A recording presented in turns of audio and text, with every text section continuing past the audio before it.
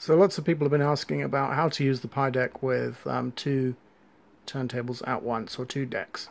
And uh, for this you're going to need either a, a four channel sound card like this one.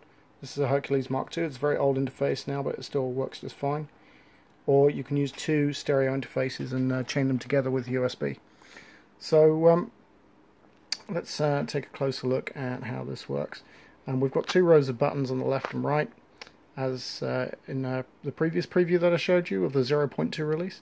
But now what we're doing is we're detecting that a uh, four channel setup has been loaded and we're putting a, a, load button and a cue button and a timecode button on both sides um, so that you can use them for either deck. So if I go back to Q1, that's there.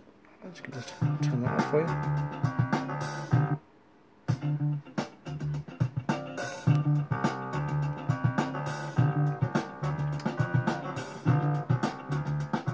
Another thing you'll notice in the uh, build that I'm showing you here is um, we've got the uh, the Dicers hooked up. And uh, the good thing is now that the Dicers are detected automatically and the configuration for them is loaded. So um, it works just the same as uh, Dicers on Serato or anything else.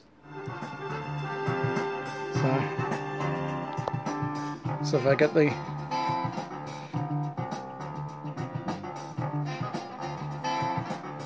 got three cuboids loaded up.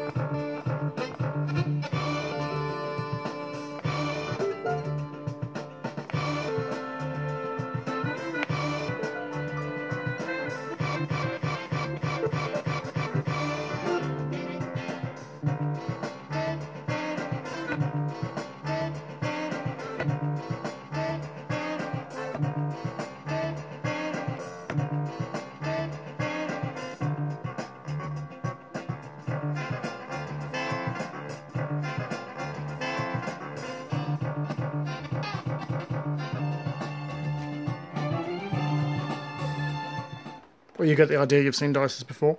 So, um, yeah, um, look forward to the uh, 0.2 release coming soon. And uh, please subscribe if you want to see more PiDeck videos. Bye.